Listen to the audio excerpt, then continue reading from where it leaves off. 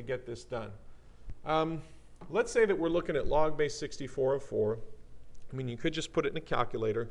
If it's uh, like a homework problem or a standardized test problem, and you know that um, you know it might be one of those easier answers, then what you want to do is just follow along with me for a second. Log base 64 of 4. If uh, I put that into, if I did the change of base formula, I'd get log 4 over log 64, right? Okay, now bear with me. Let's take that log and let's switch it to log base 4 of 64. Now this one makes a lot more sense. Log base 4 of 64 I've seen before, and I know that that answer is 3 because this is asking me what do I raise 4 to to get 64? Well, it's 4 to the third power. So what I'm going to do is, in the meantime here, let's use a change of base formula on this. This is log base, or excuse me, log 64 over log 4. And again, we said that we know what this answer is. This answer is 3, right? Because 4 to the third power is 64. Well, look for a second here with me at, at this fraction. Log 64 over log 4 looks a lot like this one. In fact, it's the reciprocal of this fraction. So if log 64 over log 4 is 3, then it must mean that log 4 over log 64 is 1 over 3. Okay, so there's like a cool little trick that you can use to figure out what, uh, what these answers would be. And you don't have to do this whole change of base step in the middle. I'm just doing it to kind of show you what, uh, like how I get this cool trick to work.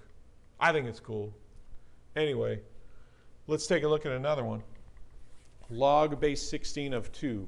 Kind of just like the last one, kind of freaking me out a bit because that base 16 is way bigger than 2. So let's, uh, let's flip it around and let's make this log base 2 of 16. And log base 2 of 16 is, um, this is 4, right? 2 to the fourth power is 16.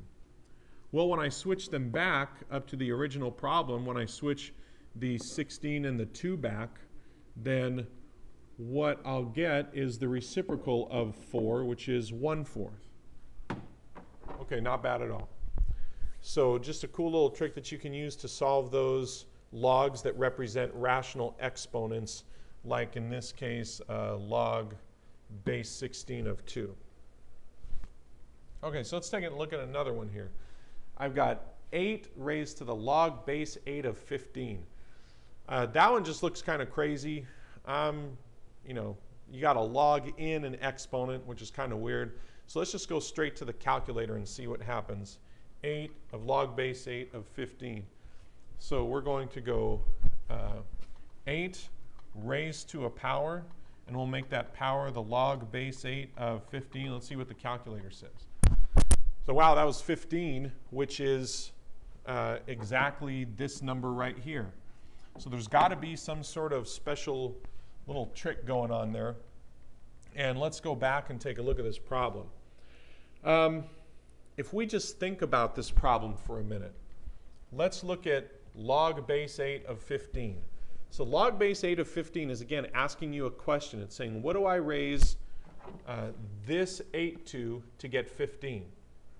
Well, it represents some exponent. What do I raise 8 to to get 15? Well, once you find that number, if I take that number and raise this 8 to it, then what do you think I'm going to get? I'm going to get 15, right? Because again, this statement is what do I raise 8 to to get 15? And then the very next thing you're doing after you answer that question, what do I raise 8 to to get 15, is you are raising 8 to that number. So you're going to get 15. Um, another way that you could do it is notice that this is an exponential form. So we're going to put it in log form. And in logarithmic form, this is going to be log and this number, base 8 of some number, I don't know what this is equal to, x, and that's equal to my exponent, log base 8 of 15.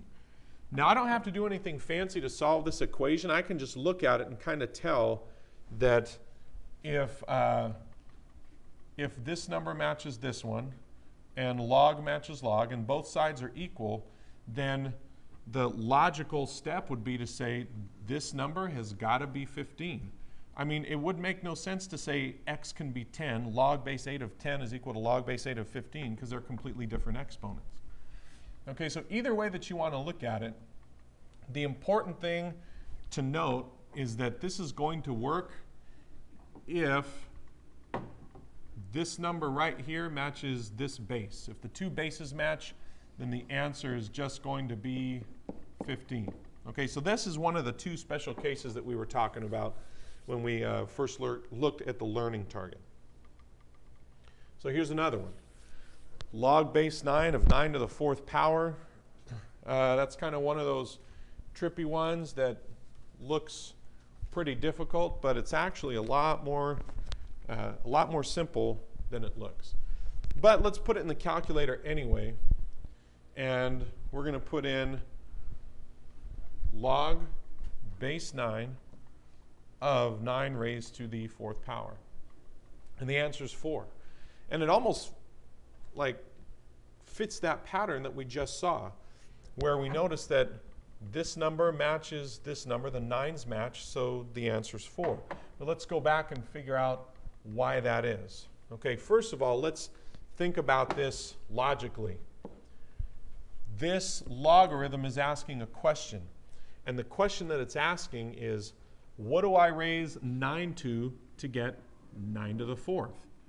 Well, you would raise this number 9, the base 9, to the fourth power to get 9 to the fourth.